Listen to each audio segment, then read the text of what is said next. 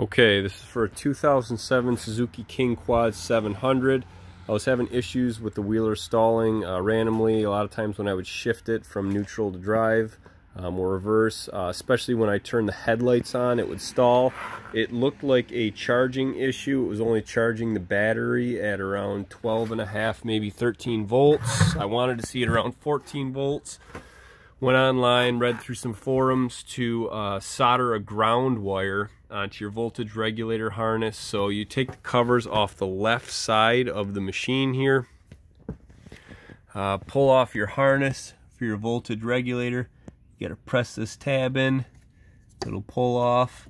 Uh, find the black wire with a white stripe on it, strip the insulation off with a knife. Don't cut the wire in two uh, I used a 12 gauge ground wire here, uh, soldered it on, uh, made a good connection there, uh, then ran it up to the negative terminal on the battery. So again, the one end of the wire is on the negative terminal terminal of the battery, the other end is on the voltage regulator harness here, black wire with a white stripe.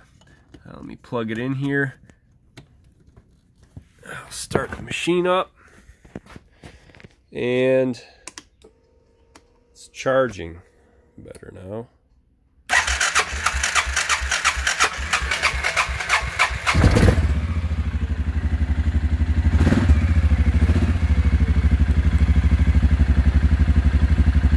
Now we're charging at around 14 volts.